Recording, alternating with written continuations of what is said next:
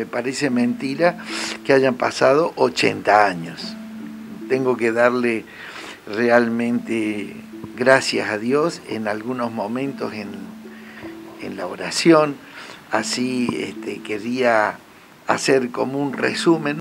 Nací en Villa María y viví en Villa María hasta los 16 años en que completé el secundario. Después, unos tres años más en Córdoba, porque estuve estudiando en la universidad. Y, después ya allí por el año, eh, ¿qué fue? 61, eh, este, entré en los palotinos y bueno, soy palotino.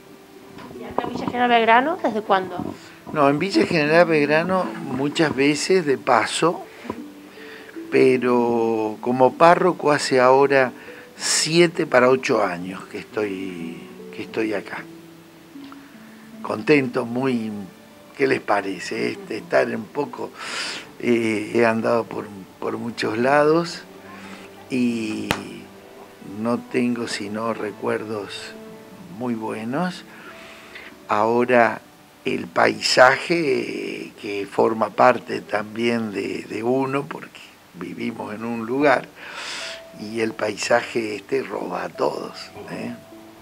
¿Le ha tocado este último tiempo eh, eh, vivir en esta situación de pandemia, con lo que significó, con lo que significó para, para, para su rol, su función? Sí, de alguna forma nos ha tocado de cerca, pero ¿qué podría decirte? Eh, de hecho, por ejemplo, hemos perdido uno de nuestros hermanos aquí, el padre Porfirio. Él era el, el que manejaba, así que ahora para cualquier cosa siempre eh, estamos pidiendo eh, si nos vienen a buscar, pueden contar con nosotros. ¿Algún recuerdo en especial? Uno cumpleaños y hace balances, ¿no? Eh, algo que, le surja, que quiera compartir. ¿Qué te podría decir? de compartir casi tendría que, que decir que en todos los lugares donde estuve hubo encuentros muy lindos y siempre con gente muy macanuda, muy cristianos que, que han sido este, para mí eh, motivo de, de, mucha amistad, ¿sí? de compartir. O sea, ¿qué te podría decir? Si tengo que recordar algo en especial,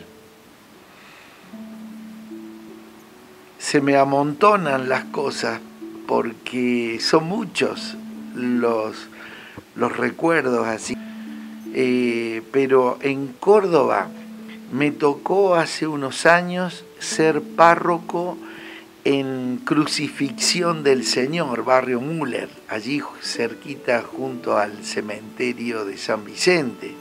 Este, el barrio Müller era una realidad social muy diferente a la que podemos vivir acá en Villa General Belgrano, ¿verdad? Pero conservo así recuerdos de aquel barrio, las hermanitas de, de Jesús este, que, están viviendo allá en, la capilla, en una capilla antigua, este, que debe ser un lugar histórico, esa capilla en la bajada de San José la llaman. Y allá este, hay un, son unas tres o cuatro hermanitas, de las cuales recuerdo con mucho cariño a Ramona, a mm, Carmen, bueno, en fin, tendría... Mucha gente pasó. Sí, sí, mucha gente, mucha gente. Los recuerdo cuando me viene el golpe porque no tengo a todos. Los tengo a todos ahí, que van saliendo según los acontecimientos este, aparecen en la mente, ¿no?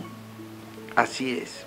Bueno, padre, muy, feliz cumpleaños. Seguramente va a haber celebración y va a haber eh, algún, algo en estos días. No hay nada, nada en sí que yo tenga presente no hay nada especial. Así que este, agradezco también esta oportunidad que me dan de saludarlos a todos y de alguna manera en ustedes recibir también el saludo de la comunidad.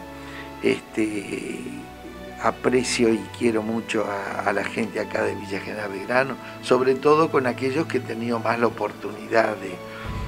Y este.